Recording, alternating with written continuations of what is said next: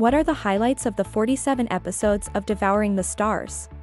Luo Feng became an inspector, and Jiangnan City prepares a grand banquet for him. The mayor of the city, the head of the martial arts hall, and business leaders will all attend the dinner. Luo Feng is going to bring Su Xian to attend. He wants to announce to the outside world that Su Xian is his only girlfriend.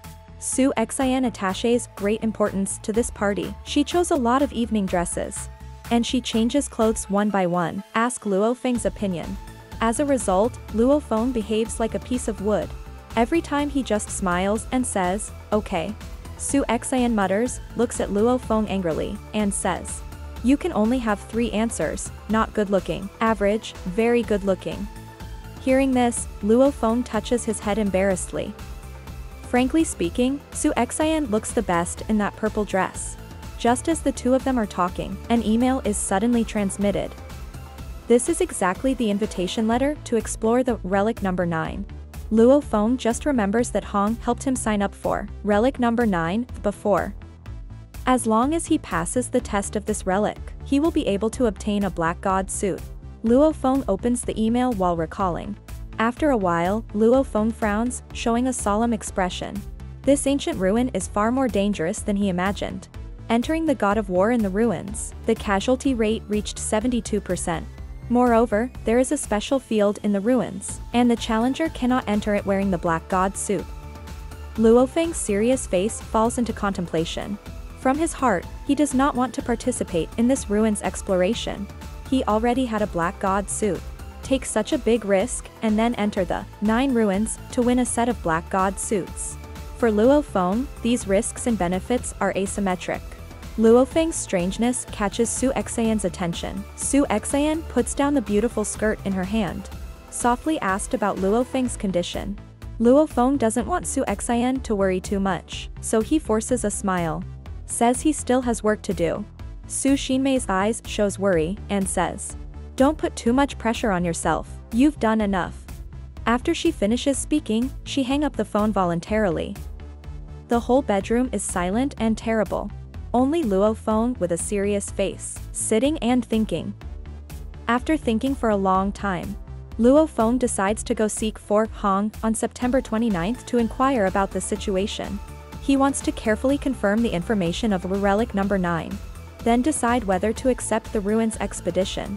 A few days later, the Extreme Martial Arts Hall in Jiangnan City is very lively. Nearly 90% of the strong people in the whole city gather here. These celebrities all come to attend the banquet of Luo Feng's successor as inspector. The guests are discussing the protagonist of today's dinner Luo Feng. Amidst the discussions of the guests, a beautiful figure appears in the hall. Su Xian comes. Slender figure, perfect body. Pair it with this noble purple evening dress. Make Su Xian's original innocent appearance more sexy. Like a fairy walking out of a picture scroll. Countless hot and admiring eyes look at Su Xian. A young man with long hair meets the beautiful Su Xian. The whole person seems to have lost his soul, sluggish in place. Slowly swallowing a mouthful of saliva, the long-haired youth walks towards Su Xian. Introduces himself with a smile. Miss Su Xian, hello, my name is Lei Yufeng. This Lei Yufeng's identity is not simple. His father is the owner of the Jiangnan City Thunder and Lightning Martial Arts Hall. It is a formidable rival to the Extreme Martial Arts Hall where Luo Feng is located. The world's number one powerhouse is Hong, he is the head of the Extreme Martial Arts Hall. The second most powerful person in the world is Thor, he is the head of the Thunder and Lightning Martial Arts Hall. Although the two have a good relationship.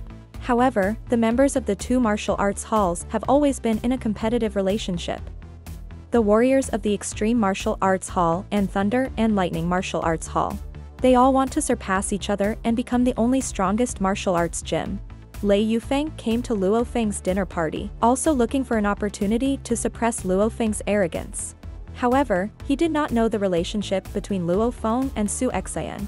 Lei Yufeng go after Su Xian, not because of Luo Feng, but because Su Xian is so beautiful. Just one glance, Lei Yufeng fell in love completely. After Lei Yufeng introduced himself, he wants to continue talking with Su Xian. At this moment, Luo Feng finally appears. The guests in the hall instantly come closer and talk to Luo Feng. Luo Feng glances at the hall. his eyes stops on Su Xian.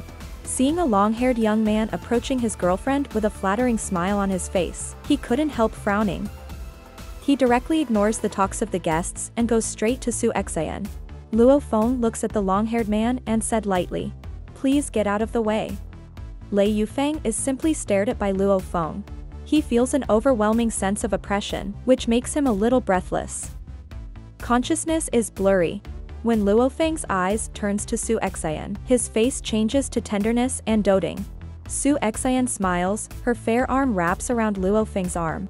Goes to the center of the hall with Luo Feng, this scene makes the celebrities present in an uproar. Luo Feng's actions obviously reveals his relationship with Su Xian.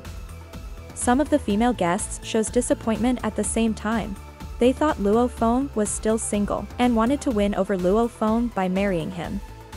Lei Yufeng's face is ashen, and his expression is ugly and terrifying. Snorts in disgust.